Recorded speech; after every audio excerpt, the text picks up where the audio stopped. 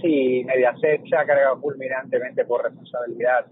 a Marta López, que subió una serie de vídeos en el Festival de Marbella sin mascarilla. Cuando el gobierno se va a cargar por responsabilidad a Fernando Simón, que lo vimos sin mascarilla en Portugal, cuando se va a cargar al ministro, bueno, al ministro actual socialista de justicia, ahí a Michel Batet, que también se les ha visto con Manuel Chávez, con el condenado por los seres, que está a la espera del recurso, pues resulta que también le, han visto, les han pillado sin mascarilla. Pablo Iglesias se saltó el confinamiento hasta en cuatro ocasiones, es decir, en Moncloa ha habido dos servidores públicos que han fallecido por la ausencia de medidas de, prevención. ¿Cuándo el gobierno va a ser tan contundente bueno, a ver, lo,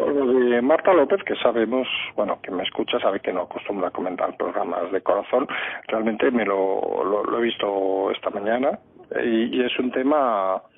a ver, yo creo que no, no, desconozco el tipo de contrato obviamente que tiene Marta López, que supongo es un contrato de doble servicio o lo que sea con la cadena, pero parece que lógico que, que en la ley, vamos, no, no hay que ser muy especialista, que no se puede despedir a nadie por una enfermedad, vamos a ser así de claros, es decir, y, es algo que, que en caso de que llegue a los tribunales pasa que supongo la relación laboral es de doble servicio, es decir, que, más que un despido, se ha hablado de un despido, pero yo creo que más que nada es decirle que no vuelva a venir, que, que es un tema bastante diferente. Eh, dicho lo cual, en el tema de los ministros, etcétera, y, pero, está bien, yo creo que está bien que, que, que Mediaset haya sido contundente, yo te digo, esto no es un despido, simplemente ella tendrá contrato de colaboraciones, ella es imagen, ella es referente para muchísima gente y Mediaset ha querido dar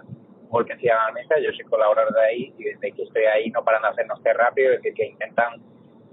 dar ejemplo ¿no? a la sociedad y por eso han tomado esta. No, no, por, eso te digo, Javier, es decir, yo creo que el, el contrato, entre comillas, que tiene con Mediaset es un contrato de obra-servicio o de colaboraciones, como queramos llamarlo, es decir, que no está involucrado, digamos, en un contrato de régimen general, para entendernos. Con lo cual, a partir de ahí, vaya a saber las cláusulas que hay, pero me imagino que una que debe estar bastante clara es que hay que cuidar por la imagen de la cadena y en ese sentido parece que no hay ninguna duda. Y algunos, mira, sin conocer al personaje, pues entendemos que, bueno, media se puede hacer lo que considera oportuno y si ha considerado oportuno hacer eso, adelante y nadie se va a quejar.